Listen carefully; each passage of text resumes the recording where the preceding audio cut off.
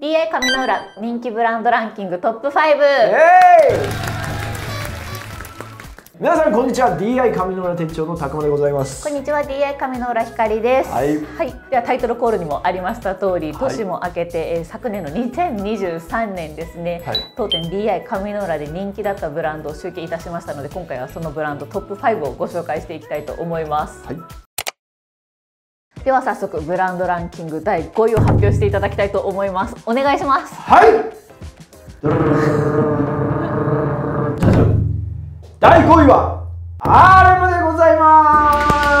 す。イエーイ。ね。RM が。はい。はい今季第5位ということでまあでも僕たちも実感として RM の人気そうでがですすね。ねどんどんはいどんどん上がってるなっていうのは体感で感じていたんですけれども、はい。まあ今特にかけてるこの二方ですね、はい。えっとコデューシュっていう、まあ、ちょっと小ぶりの丸型と、僕がかけてるガイオっていうですね割と新型のはい。八角形のモデルが今季は人気だったかなと、あ2023年、はい。昨年は人気だったかなと思います。サイズ感も結構こう RM の中でもすっきりめなので、はい。もう男女問わず結構こうお仕事用もそうなんですけどおしゃれメガネとしてもこうお選びいただいたかなと思います。あとこちらアーレムなんですけどもはい。ともと LA ロサンゼルスでですねスタートしたブランドなんですけど今の秋冬のコレクションからあのデザイナーのアーレムさん女性のデザイナーさんなんですけどが故郷のパリに拠点を戻されたので、はい。まあおよそもうフランスのブランドってはい。言っても、あの過言じゃないかなと思います。でもともと生産はずっとフランス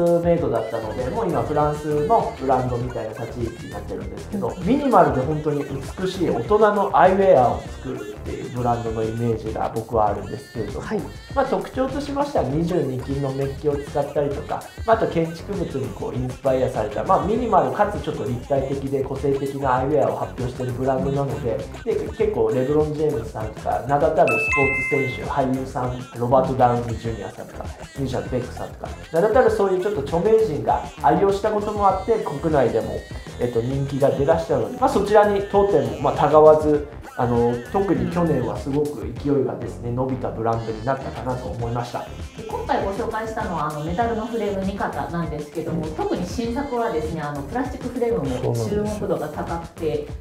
そうですね。私物ではい。私物でこれ今期買ったモデルなので。はい、モデルをかけているんですけども、かなりこう注目度が高まっているブランドになるかと思うので、今期もですね、はい、ですね。ぜひ皆さんチェックされてみてください。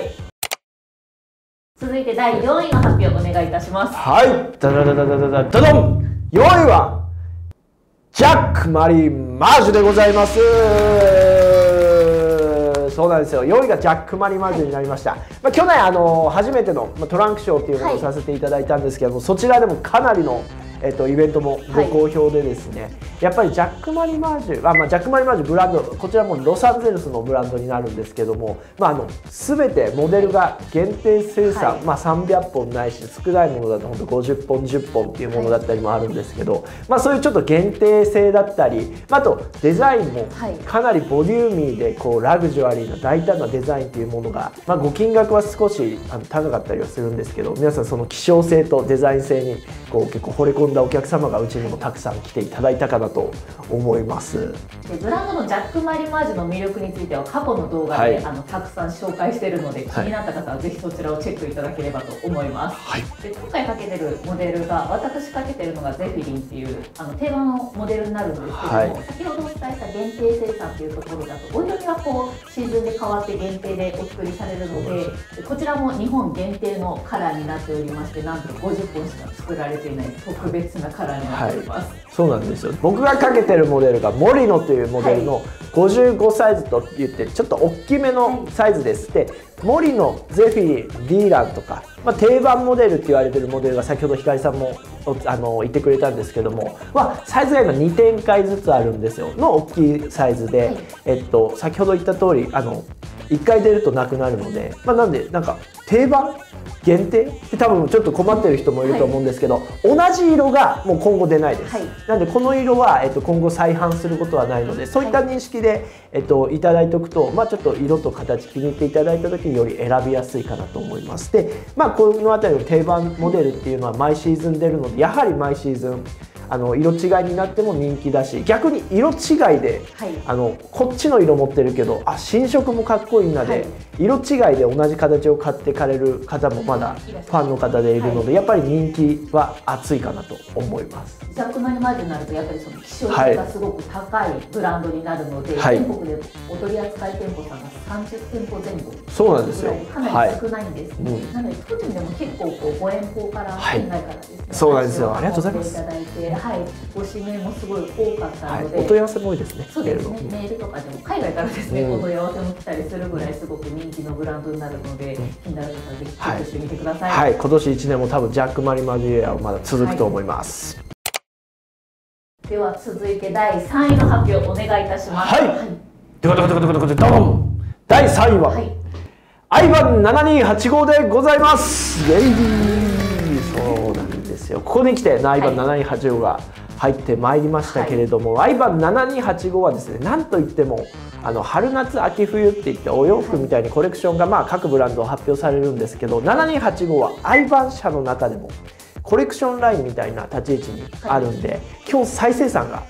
シーズンを超えるとされません、はい。なんで割ともう7285ファンだったりの方がやっぱ新作をやっぱり半期に1回見に来ていただいてっていう方も多いし、まあ、そういうやっぱり希少性もあるのでやっぱり新規のお客様もナイバー7285見たいなっていうのとあと熊本だとうちのグループ店しか取り扱いがないので、はい。やはり、はい、ここに集中したかなと思います。はい、7285っていうのがあの定番モデルが存在しないので、はい。もちろんその再生産というのも行われないので、はい。今回ちょっとかけてるのが2人とも私物になるんですけども、はい。私があの351という、ははい。いちょっとナローシェイプのあのメガネをかけております。うん。はいで私がですね次々ましてあの197という新型をかけております。でこれですねまだあの撮影段階中これあの年末にまだですね、はい。あの発表あの発売が始まったばかりで撮影時はですねまだ当然在庫あるんですけどもしかすると人気まだかなりもう人気でですね何本かはい。売れてしまっているのでもしかしたらなくなってくるかもしれないんですけどちょっと気になった方はあのいろんなお店さんに、まあ、お問い合わせするなりご来店あの出向くなりしてちょっと探したり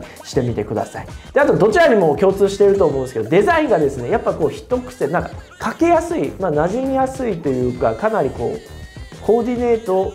馴染みしやすいんですけど、こうアイバン7285にしかないシェイプというか、はまあ、オーバルにしろなろうなこういうウェリントン型にしろまだあまりこう他のブランドさんがですねはい。こう手を出してない形というかなんかこうメガネデザインでも一歩先一歩先一歩先っていうデザインを本当に僕たちが描きやすいところまで解釈あの噛み砕いて出してくれるデザインがもう7285の魅力的な部分かなと思います。では続いて第2位の発表をお願いいたします。はい、ちょこちょこちょこちょこちょこちょこドドン。第2位はアイバンでございます。はい、ここに来てアイバンが来ました、はい。先ほどのアイバン7285、はい。まああ同じアイバンなんですけれどももちろん会社は一緒です。はい。で先ほどお伝えした通り728がコレクションラインとしたらアイバンがもうオリジナル、まあ、あのベーシックラインっていうところで、基本こういう、まあ、今光さんにかけていただいているメイソンっていうのは定番型になってきますね。はい、なので、えっと、もちろんしあの手作業で作っているので毎シーズンの生産量というのはやっぱ決まっちゃってるんですけどある程度こうシーズン時期を追っても、まあ、再注文というかですね再入荷してくるような定番品になってます。でもう形がもうこちらクラウンパントっていう形になるんですけどまあフレンチヴィンテージの形ですよね。はい、なのでまあちょっとこうデザイン的にはフレンチヴィンテージっていうものに対してのトレンド感がメガネあったのでもうアイバーの中でもこのメイソンはあの当店だとかなりあのサングラスのモデルも含め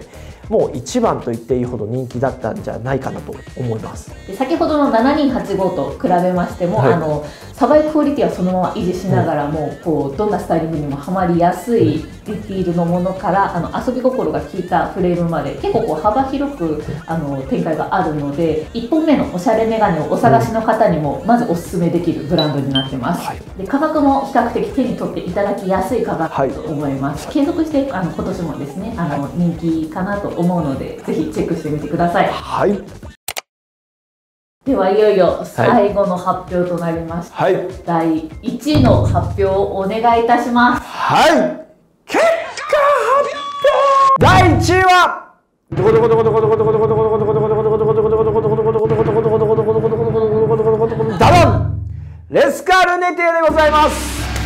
やっぱりみたいやっぱりみたいなところあります、はい。なのですねあの老若男女の方のお客様にですねもう本当にご来店いただいたかなって、レスカを目的にですね、はい。っていうのは本当に体感で感じててですね、まあ、レスカっていうのはフランスの割とこうトラディショナルな伝統的なデザインをこう提案しているブランドになるんですけれども先ほど、まあ、アイバンの時にもお伝えした通り、そのフレンチデザインだったりヨーロピアンデザインっていうアイウェアがちょっとトレンドとして注目されてたのでここはやっぱり外せないなと。そうですね。はい、特に僕が今かけてる。はい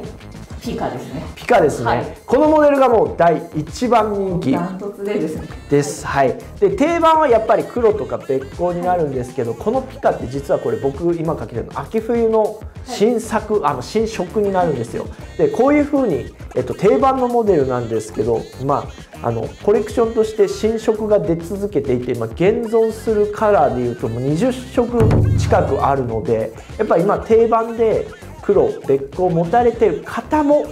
新色を買われる方だったり、はい。やっぱこの形のファンがすごく多いイメージがはい。ございました、で続きましてこちら光さんがかけてるモデルがバートというはい。小ぶりの丸型になるんですけどこれも丸型ではレスカの定番になりますよね。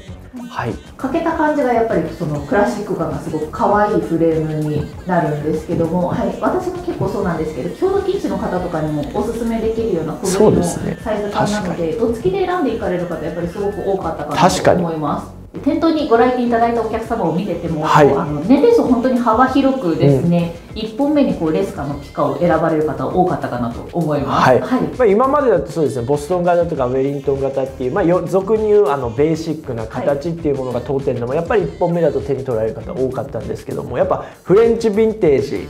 というトレンドがの追い風と、はいファッション系の方がやっぱり SNS とかインスタグラムでまあかけられてそれが広く広まったっていうのはかなりはいあの理由になってやっぱ若い女性のお客様もかなりいらっしゃったり逆にちょっとこう渋めのこうイケオジ系のですね、はい。渋いこう男性のお客様がいらっしゃったり、幅広いお客さんにたくさんご来店いただいたかなっていうこう印象が残っているのもレスカの、はい、特徴かなと思います。去年の冬にですねあの入ってきた新作とかもちょっとこう今までのレスカにないような確かに。雰囲気のものとかも結構こうじわりと新しかったですね。ではい。で先日ちょうどあのトランクショーがあったんですが、はい。新作もすごくじあの人気いでしたね。ただいてたので、はい。はい、まだまだ注目度が高まっていくブランドじゃないかと思います。では本日は売上ランキングですね。はい、売上本数ランキングベスト5であの DI 上の浦のあのブランドご紹介させていただいたんですけどもいかがでしたでしょうか、まあ、結構納得のブランドから、うわそうなんだっていう驚きのブランドまであったので、まあ、これですね。来年もまたちょっとこう2024年版でやる、あのさせていただこうと思うのでぜひ皆さんもこの1年間一緒に予想をしてみてください。では本日の動画は以上でございます。こちらの動画がいいねと思ってくれた方はグッドボタンとチャンネル登録とあとよろしければコメントの方もお待ちしておりますのでよろしくお願いいたします。ではよろしければ次回の動画でお会いしましょう。バイバイ